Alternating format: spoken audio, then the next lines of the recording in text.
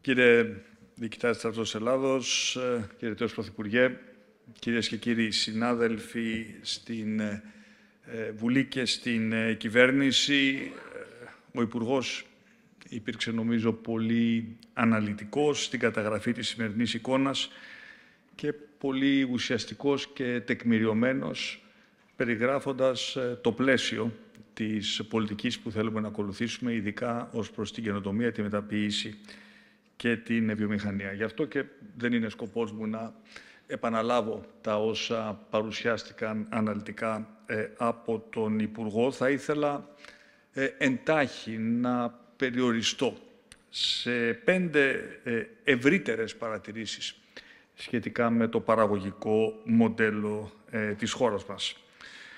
Με πρώτη, αυτή που αναφέρθηκε και στην ε, εισαγωγή του Υπουργός, και δεν είναι άλλη από την ε, οριστική πια και θα έλεγα και μία αναστρέψιμη πορεία ανάκαμψης συνολικά της εθνικής μας οικονομίας. Διότι πιστεύω ότι πράγματι σήμερα δεν συντρέχει ουσιαστικά κανείς από τους λόγους που οδήγησαν τη χώρα σε αυτήν την υπερδεκαετή κρίση η οποία τόσο ταλαιπώρησε και πόνεσε την ελληνική κοινωνία. Μια οικονομία η οποία παράγει πια σταθερά πρωτογενή πλεονάσματα, μια οικονομία πια η οποία μπορεί και μειώνει το πολύ μεγάλο δημόσιο χρέος το οποίο κληρονομήσαμε με τους πιο γρήγορους ρυθμούς στην Ευρώπη. Μια οικονομία στην οποία τα δημόσια έσοδα αυξάνονται παρά το γεγονός, και θέλω να το τονίσω αυτό, ότι οι φόροι και οι εισφορές μειώνονται. Μια οικονομία στην οποία ο τραπεζικός κλάδος και με την σημαντική βοήθεια και της Τράπεζας της Ελλάδος έχει πια εξηγιανθεί ώστε να μπορεί να ανταποκρίνεται στον ουσιαστικό του ρόλο που δεν είναι άλλος από την χρηματοδότηση της πραγματικής οικονομίας. Μια οικονομία στην οποία το εξωτερικό έλλειμμα υποχωρεί και όλα αυτά προφανώς αποτυπώνονται στην ανάκτηση της επενδυτικής βαθμίδας, αλλά και στην εμπιστοσύνη με την οποία περιβάλλουν την ελληνική οικονομία, ξένοι οίκοι, οι αγορές, κάτι το οποίο αποτυπώνεται και στην αποκλιμάκωση του κόστους δανεισμού της χώρας και της πορείας φυσικά των ε, ελληνικών ε, ομολόγων. Και θέλω να επαναλάβω εδώ πέρα κάτι το οποίο έχω πει πολλές φορές, ότι αυτή η πορεία δεν ήταν καθόλου νομοτελειακά προδιαγραμμένη. Ήταν αποτέλεσμα μιας πολύ συστηματικής δουλειάς, πενταετίας, η οποία μπορεί σήμερα να μας οδηγεί στην ευχάριστη θέση η Ελλάδα να παρουσιάζεται πια συνολικά στην Ευρώπη ως ένα παράδειγμα προς μίμηση. Μια οικονομία η οποία κατάφερε να πετύχει κάτι το οποίο δεν είναι πολύ εύκολο να μπορεί να συνδυάσει από τη μία δημοσιονομική πειθαρχία και επίτευξη πρωτογενών πλεονασμάτων με μία δυναμική ανάπτυξη η οποία ξεπερνά κατά πολύ τον μέσο ευρωπαϊκό όρο. Και όλα αυτά να μπορούν να γίνουν σε συνθήκες πολιτικής σταθερότητας, με προβλέψιμους εκλογικούς κύκλους και με μια πολιτική η οποία περιγράφεται στην αρχή της τετραετίας και με μια κυβέρνηση η οποία έχει αποδείξει ότι έχει τη δυνατότητα αυτή την πολιτική να την υλοποιεί με αξιοπιστία. Επιτρέψτε μου εδώ πέρα μια σύντομη αναφορά σε ένα δεδομένο το οποίο το θεωρούμε λίγο πολύ αυτονόητο, πλην όμως μόνο η έλλειψή του θα μπορούσε να μας δείξει πόσο σημαντικό είναι για την επίτευξη όλων αυτών των στόχων. Και αναφέρομαι εδώ πέρα στην πολιτική σταθερότητα και στην ασφαλή κυβερνητική πλειοψηφία, η οποία μας επιτρέπει να υλοποιούμε αυτές τις πολιτικές σε βάθος χρόνου. Και αρκεί να δείτε την κατάσταση που επικρατεί σε πολλές άλλες ευρωπαϊκές χώρες, ισχυρές οικονομίες, οι οποίες ταλανίζονται σήμερα από εσωτερικά πολιτικά προβλήματα, οι οποίες ε, τις οδηγούν σε πολιτικές οι οποίες δεν διακρίνουν πάντα την απαραίτητη συνέπεια, συνέχεια και σταθερότητα, με αποτέλεσμα μεγάλες και ισχυρές χώρες, όπως η Γαλλία, να αναγκάζονται αυτή τη στιγμή να υλοποιούν πολιτικές δημοσιονομικής προσαρμογής ιδιαίτερα επώδυνες, διότι διαπίστωσαν ξαφνικά ότι η πολιτική τους οδήγησε σε δημοσιονομικές καταστάσεις οι οποίες δεν μπορούσαν να γίνουν ανεκτές ούτε από την Ευρωπαϊκή Ένωση, αλλά ούτε και από τις αγορές. Το δεύτερο σχόλιο μου αφορά την ίδια τη φύση της οικονομικής δραστηριότητας. Είναι αλήθεια ότι, άμα δει κανείς την διάρθρωση της οικονομίας μας, η κατανάλωση εξακολουθεί και παίζει έναν ε, πολύ σημαντικό ρόλο στην διάρθρωση του ελληνικού ΑΕΠ. Όμως αυτή η σχέση αλλάζει και αλλάζει με ταχύτητα μέσα από την αύξηση των επενδύσεων και των εξαγωγών. Και δεν πρέπει να αμελούμε ότι οι εξαγωγές μας προϊόντων και υπηρεσιών έχουν φτάσει στο 50% ε, του ΑΕΠ, μια πορεία η οποία δεν ήταν καθόλου αναμενόμενη πριν από κάποια χρόνια από τώρα και την ίδια τάση, θετική τάση, ε, ακολουθούν και οι επενδύσεις. Επενδύσεις οι οποίες αυξήθηκαν σημαντικά την ε, τελευταία πενταετία, όταν αντίστοιχα στην Ευρώπη ήταν περίπου σταθερές. Και βέβαια εδώ πέρα αξίζει να τονίσουμε και νομίζω ότι η παρουσίαση του Υπουργού ήταν κρίσιμη ως προς αυτό.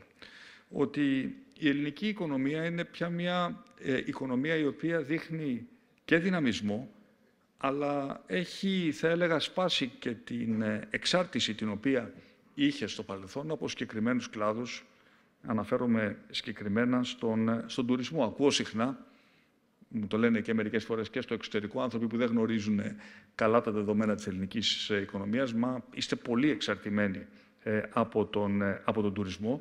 Η απάντησή μου είναι ότι ο τουρισμός είναι ένας πάρα πολύ σημαντικός κλάδος για την ελληνική οικονομία, αποτελεί μεγάλη πηγή εθνικού πλούτου. Όμως η χώρα μας είναι μία από τις λίγες χώρες όπου αυξάνεται η συμμετοχή της μεταποίησης και της βιομηχανίας στο ΕΠ. Και θα έλεγα ότι μάλλον έχουμε διανύσει περίπου το μισό της χαμένης απόστασης, ε, την οποία ε, θα έλεγα ε, αναγκαζόμαστε να καλύψουμε μετά την, μετά την κρίση ως προς την βελτίωση των επενδύσεων ως ποσοστό του, του ΑΕΠ. Έχουμε κάνει μια σημαντική πρόοδο και στη μεταποίηση και στις επενδύσεις. Αλλά πρέπει ακόμα να τρέξουμε πιο γρήγορα και ακριβώς αυτήν τη στρατηγική ε, υπηρετεί και η πολιτική την οποία παρουσίασε και οι πρωτοβουλίες ε, τις οποίες ε, παρουσίασε ο κ. Υπουργός. Και ξέρετε υπάρχουν πολλές ε, ιστορίες, μικρές ιστορίες σχετικά άγνωστες, μεγάλης επιτυχίας της ελληνικής βιομηχανίας και της ελληνικής μεταποίησης, οι οποίες δεν είναι ευρύτερα γνωστές. Να αναφέρω ενδεικτικά τον κλάδο των φαρμάκων. Παράγουμε σχεδόν τα μισά ογκολογικά φάρμακα της Ευρώπης, το 25% των σκευασμάτων πενικυλίνης, ένα σημαντικό ποσοστό των καρδιομεταβολικών ουσιών, έχοντας μια δυναμική εγχώρια φαρμακοβιομηχανία, η οποία δεν καλύπτει απλά τις ανάγκες της Ελλάδος, αλλά ένα σημαντικό κομμάτι των αναγκών της Ευρώπης. Σκεφτείτε πόσο σημαντικό είναι αυτό μετά τον COVID, σε μια εποχή που η Ευρώπη συζητάει για στρατηγική ε, αυτονομία. Πώς ξέρουν ότι στην ε, πατρίδα μας έχουμε τη μοναδική, εξ όσο γνωρίζω, ευρωπαϊκή επιχείρηση εξόριξης βοξίτη. Ότι είμαστε πρωταγωνιστές στην παραγωγή ε, αλουμινίου και αλουμίνας. Ότι είμαστε ο δεύτερος μεγαλύτερος παραγωγός χαλκοσολίνου στην Ευρώπη. Ότι είμαστε δεύτεροι σε εξαγωγές προϊόντων μαρμάρου. Ότι σε πολλούς καινοτόμους τομείς, μικρές εταιρείες οι οποίες μάλιστα δεν βρίσκονται κατά ανάγκη όλες στην ελληνική ε, περιφέρεια, έχουν καταφέρει και πρωταγωνιστούν σε εξαγωγές και ανταγωνίζονται ευθέως πολύ μεγαλύτερους Ευρωπαίους και παγκόσμιους παίκτες, από τα κεραμικά μέχρι τα, μέχρι τα σανσέρ. Και μάλιστα πόσοι γνωρίζουν ε, σήμερα ότι είμαστε πρώτοι στην Ευρώπη ακόμα στην ε, παραγωγή βαμβακιού το που πηγαίνει αυτό το βαμβάκι και τελικά αν μπορούμε να το επεξεργαστούμε και να το κατευθύνουμε ε, σε προϊόντα προστιθέμενης αξίας ευρωπαϊκά είναι ένα άλλο ζήτημα, ότι εξακολουθούμε και έχουμε έναν εξαιρετικά δυναμικό ε, κλάδο ε, τροφίμων, επεξεργασμένων τροφίμων, ότι γίνονται πάρα πολύ σημαντικά βήματα στον άγρο διατροφικό τομέα, με επενδύσεις οι οποίες συνδυάζουν το μέγεθος με την ε, καινοτομία. Όλα αυτές είναι λίγες από τις ε, ιστορίες ε, επιτυχίας της ελληνικής βιομηχανίας, της ελληνικής μεταποίησης, οι οποίες νομίζω ότι αξίζει να αναφέρονται, γιατί σπάνε έτσι αυτό το, αυτή την άποψη ότι η Ελλάδα είναι μια χώρα που δεν παράγει τίποτα και ουσιαστικά είναι μόνο εξαρτημένη από τον τουρισμό. Είναι μια ε, λάθος άποψη, η οποία υποστηρίζεται ε, από τα στοιχεία και καταδεικνύει ότι η χώρα μας μπορεί να είναι ανταγωνιστική και στη μεταποίηση και στην ε, ε, βιομηχανία. Η επόμενη παρατήρησή μου έχει να κάνει με την ανταγωνιστικότητα, την παραγωγικότητα και συνολικά με τον ανταγωνισμό, όπου συνολικά πάλι τρέχουμε για να καλύψουμε το πολύτιμο έδαφος και το χρόνο τον οποίο χάσαμε εδώ και μία δεκαετία. Αν δει κανείς, το γνωρίζει καλά και ο διοικητής της Τράπεζας Ελλάδος, τα στοιχεία της παραγωγικότητας, ειδικά στην ε, βιομηχανία, αυτή έχει αυξηθεί σημαντικά σε σχέση πάντα με τους ευρωπαϊκούς ρυθμούς. Το ψηφιακό χάσμα, οι αποστάσεις που είχαμε στην έρευνα και στην καινοτομία καλύπτονται, ενώ και οι συνθήκες του ανταγωνισμού παραμένουν ένα διαρκές στίχημα. Προσέξτε, είναι εύκολο για κάποιους να παρατηρούν ότι η αγοραστική δύναμη στον τόπο μας παραμένει ακόμα χαμηλή, αφού προηγήθηκε μια χρεοκοπία και μια πρωτοφανής κρίση, η οποία διάρκεσε παραπάνω από 10 χρόνια.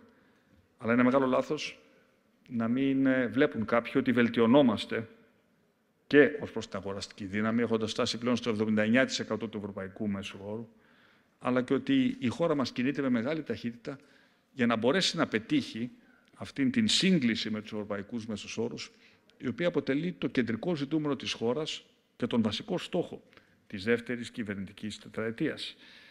Και μάλιστα ε, μου κάνει εντύπωση πώς ε, ορισμένοι επιμένουν στις συγκρίσεις τις οποίες κάνουν ως προς τα οικονομικά στοιχεία να εξακολουθούν να θέτουν ως έτος σύγκρισης το 2010 και να λέμε πότε θα επιστρέψουμε εκεί που ήμασταν το 2010, χωρίς να θυμούνται ότι αυτή η ευημερία την οποία ζούσαμε πριν ακριβώς τη χρεοκοπία ήταν μια επίπλαστη ευημερία. Ήταν μια ευημερία η οποία στηριζόταν πρωτίστως σε δανεικά και η οποία τελικά οδήγησε τη χώρα στη χρεοκοπία. Η απάντηση λοιπόν είναι δεν θα γυρίσουμε ποτέ στο 2010 ως προς τη διάρθρωση της οικονομίας και τη δημοσιονομική πειθαρχία η οποία πρέπει να αποτελεί πια τον μπούσουλα της κυβερνητικής πολιτικής και στόχο ο οποίος δεν μπορεί να τεθεί υπό αμφισβήτηση από καμία κυβέρνηση.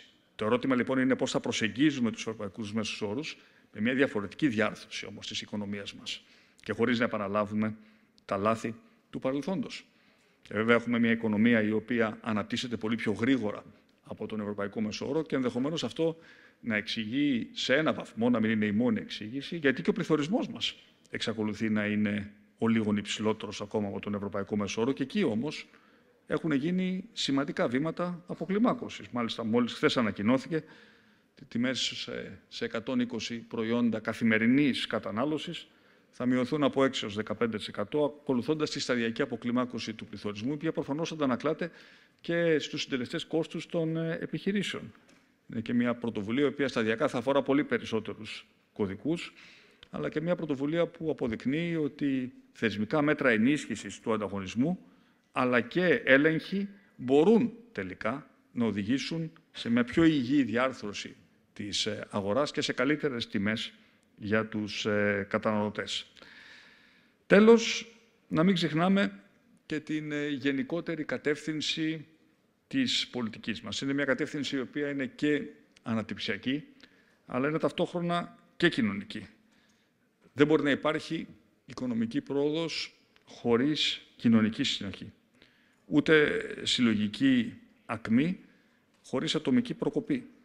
Και βέβαια αυτή η κοινωνική συνοχή έχει να κάνει και με την περιφερειακή σύγκληση. Έχουμε μιλήσει πολλές φορές ότι στόχος μας δεν αποτελεί απλά η σύγκληση με την Ευρώπη ως προς ε, τα συνολικά στατιστικά στοιχεία και τους δείκτες της ελληνικής οικονομίας, αλλά και η ενδοπεριφερειακή σύγκληση, έτσι ώστε να μπορέσουμε να αντιμετωπίσουμε περιφερειακές ανισότητες, αλλά και ενδοπεριφερειακές ανισότητες. Για παράδειγμα, είχαμε βρεθεί πριν από δύο εβδομάδες στον Εύρο, όπου μιλήσαμε για τις ενδοπεριφερειακές ανισότητες του Εύρου, όπου η Αλεξανδρούπολη είναι μια πόλη που ε, αλλάζει και ακμάζει, αλλά ο Βόρειος Εύρος έχει μείνει πίσω σε σχέση με την αναπτυξιακή δυναμική της πρωτεύουσας της περιφερειακής ενότητας του Εύρου. Και ότι αυτές οι ανισότητες πρέπει να γεφυρώνονται μέσα από στοχευμένες πολιτικές, στις οποίες θέλουμε και συμμάχους τους περιφερειάρχες μας και γι' αυτό και σε κάθε περιφέρεια της χώρας, μέσα από μια διαδικασία διαβούλευσης με την τοπική κοινωνία, θα εντοπίζουμε εκείνες τις παρεμβάσεις που θα μας επιτρέψουν, στο βαθμό που αυτό είναι εφικτό, η ανάπτυξη να είναι όσο το δυνατόν πιο ισόρροπη. Και να μην βρεθούμε στην Ελλάδα στη θέση όπου έχουν βρεθεί άλλες χώρες, όπου έχουμε πόλεις, αστικά κέντρα τα οποία ακμάζουν και μια περιφέρεια ε, η οποία ερημώνει. Αυτή είναι μια μεγάλη πρόκληση την οποία πρέπει να διαχειριστούμε και θα τη διαχειριστούμε σε συνδυασμό και σε συνεννόηση με την τοπική αυτοδιοίκηση πρώτου αλλά κυρίως δεύτερου βαθμού. Όμως, στον πυρήνα της πολιτικής μας πρέπει πάντα να μπορούν να είναι η διατήρηση υψηλών ποιοτικών ρυθμών ανάπτυξης, η δημιουργία πολλών νέων θέσεων εργασίας. Νομίζω ότι σε αυτό το στόχο έχουμε να επιδείξουμε ε, πολύ, έτσι, ένα πολύ ε, αξιόλογο έργο. Θέλω να θυμίσω που ήταν η ανεργία όταν ε, ήρθαμε στα πράγματα το 19, ε, που είναι σήμερα και ποιες είναι οι πραγματικές πιέσεις ε, στην αγορά εργασίας που μας υποχρεώνουν μαζί και με τους κοινωνικούς εταίρους να σκεφτούμε πολιτικές οι οποίες έχουν να κάνουν με την κατάρτιση, την είσοδο στο εργατικό δυναμικό περισσότερων γυναικών, περισσότερων νέων, γιατί δεν θα μπορέσουμε να στηρίξουμε αυτήν την αναπτυξιακή δυναμική της ελληνικής οικονομίας εάν δεν μπορέσουμε να λύσουμε το ζήτημα του εργατικού δυναμικού και αν δεν μπορέσουμε να επενδύσουμε συστηματικά στην καινοτομία, στην τεχνολογία και στη βελτίωση της παραγωγικότητας. Αυτό είναι και το μήνυμα της έκθεσης Δράγκη για την Ευρώπη, όσο ισχύει για την Ευρώπη, αλλά τόσο ισχύει και συγκεκριμένα για την ε, πατρίδα μας. Αυτές είναι οι μεγάλες προκλήσεις της ε, ε οικονομικής μας ε, πολιτικής, ένα, ε, θα έλεγα, υποσύνολο των οποίων ε, αντιμετωπίζεται μέσα από τις παρεμβάσεις για τις οποίες μας μίλησε σήμερα ε, ο Υπουργός σχετικά με τη βιομηχανία ε, και με τη μεταποίηση. Να κλείσω με την παρατήρηση ότι το παραγωγικό μοντέλο της χώρας αλλάζει. Αλλάζει προς την κατεύθυνση την οποία θέλουμε. Όμως δεν υπάρχει καμία αμφιβολία ότι έχουμε πολύ δρόμο ακόμα να διανύσουμε μπροστά μας. Ότι κανείς δεν μένει ακίνητος, ότι και οι χώρες στις οποίες ανταγωνιζόμαστε κάνουν και αυτές τις δικές της παρεμβάσεις, αλλά σε αυτόν τον διαρκή συγκριτικό αγώνα πρέπει να είμαστε σίγουροι ότι πρέπει να τρέξουμε πιο γρήγορα, γιατί πολύ απλά έχουμε πολύ περισσότερο χαμένο έδαφος να καλύψουμε.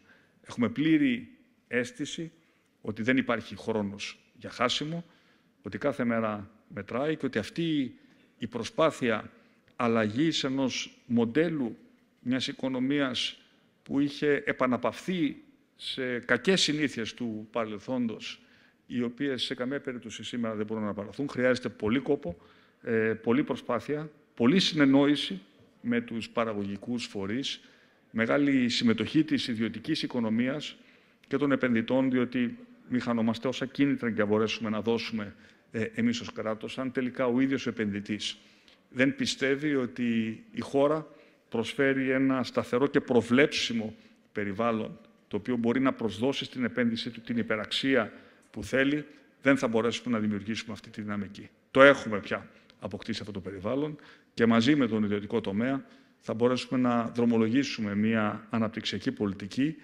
με ε, θεμέλια ε, ισχυρά που θα μας επιτρέψει να αντέξουμε στο μέλλον και τις όποιες αντικσιότητες προκύψουν. Σας ευχαριστώ πολύ.